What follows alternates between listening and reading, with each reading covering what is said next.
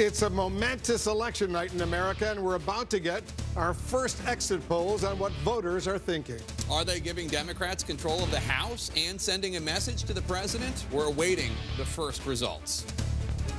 This is the night when voters decide whether to reward or rebuke the president. I'm not on the ticket, but I am on the ticket because this is also a referendum about me.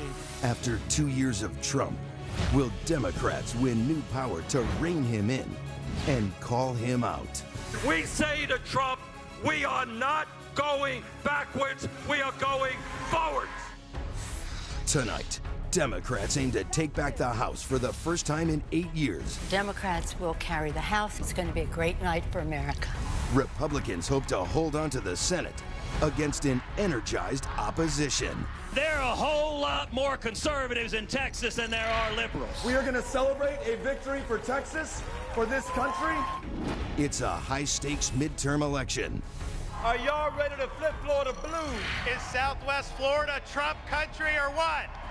With women running in record numbers, breaking barriers. This is our moment, our chance to lift up Georgia.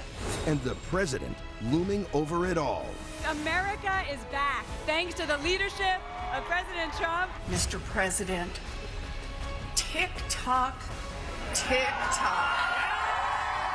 This is CNN's coverage of election night in America. The fight for Congress, the battles for governor, and the future of the Trump presidency. Get your friends, get your neighbors, and get your ass out to vote. The people are choosing. The world is watching. And anything is possible until the last vote.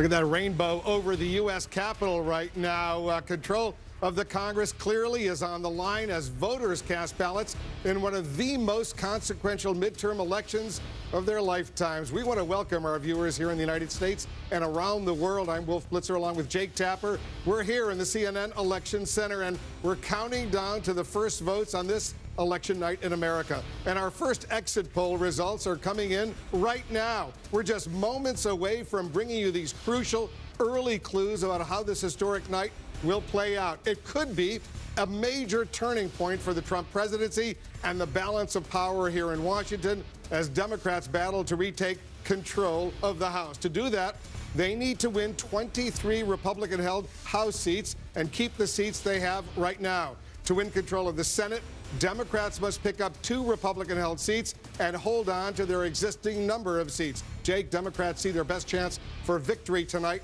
in the fight for the House. Well, it could all come down to fewer than 50 key races where Republicans are at greatest risk of losing House seats. Our team is here in the Election Center covering all the important contests. We have John King at the Magic Wall, of course, mapping out the races and the votes district by district. With the first results just minutes away, Dana Bash is standing by. She's following the 35 Senate contests where Democrats are facing a very tough map tonight. We're also watching 36 governors' races. Our Nia Malika Henderson will keep us up to date on those results. And we're about to get the first exit polls of what voters are thinking tonight. David Chalian will have that. We have reporters spread out across the country monitoring the results as they come in. Let's start with our Manu Raju on Capitol Hill. Manu.